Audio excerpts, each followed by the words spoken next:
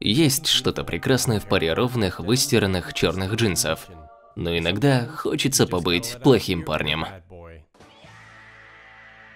Хорошая пара рваных джинсов может выглядеть отлично. Проблема в том, что пара купленных рваных джинсов не всегда выглядит реалистично. Но что если я вам скажу, что легко можно самому сделать такие джинсы? Это Томас из Real Man Real Style, и я покажу, как это сделать. Вам понадобятся некоторые инструменты. Во-первых, вам нужен карандаш для ткани, мелкая наждачная бумага, хлопковый ролик, бритва, пинцет или шовный рыхлитель, кусок картона, ножницы, нож или другой острый предмет. Шаг номер один – отметьте места порезов. Для начала распланируйте, где вы будете резать джинсы. Если вы сразу начнете резать, результат вас не удовлетворит. Самое главное сделать реалистично. Делайте порезы там, где джинсы изнашиваются быстрее всего. В первую очередь, это колени. Не забудьте о карманах, где постоянно лежат ключи и другие предметы, которые изнашивают ткань.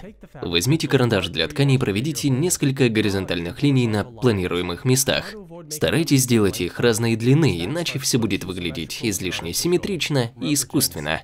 Господа, помните, чем меньше, тем лучше. Шаг номер два – начните резать. Вы можете использовать любой инструмент, но действуйте осторожно и старайтесь резать только верхнюю часть ткани.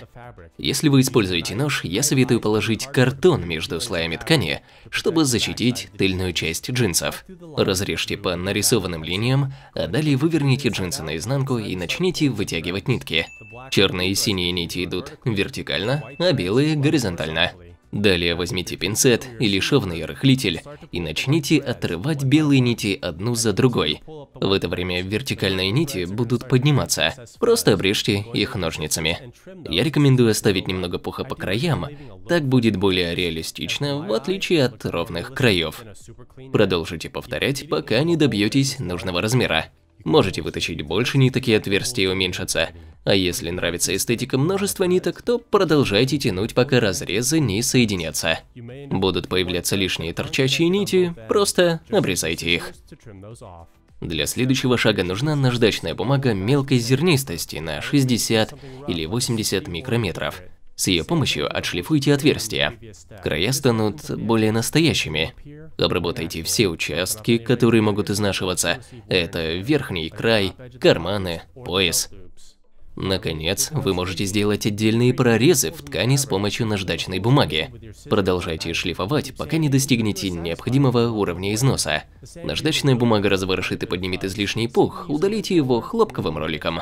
Другой способ сделать джинсы рваными – это использовать бритву. Отличный инструмент для обрезания краев ткани, при этом не поднимая пух.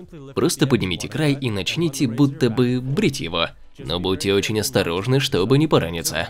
Итак, господа, что касается рваных джинсов, какие вам больше нравятся, черные или синие, напишите в комментариях. Шаг номер пять. Постирайте. Закончите процесс, отправив джинсы в стиральную машину, чтобы убрать остатки ниток. Вот и все, господа. Теперь у вас есть пара рваных джинсов.